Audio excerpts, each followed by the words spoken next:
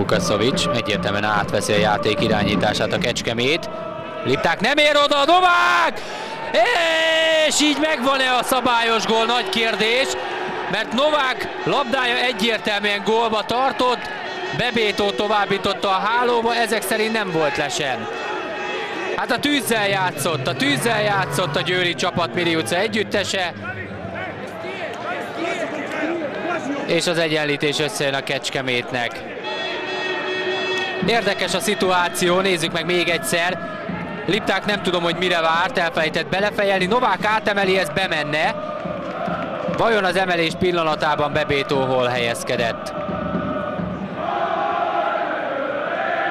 Minden esetre megadják a gólt.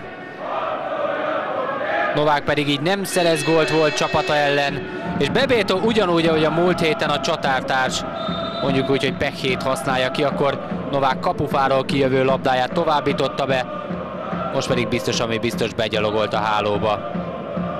Na nézzük itt ebből a felső kameraállásból. Egyértelműen nem volt les. Bebétó hátulról érkezett, és jó csatár módjára bebiztosította a gólt.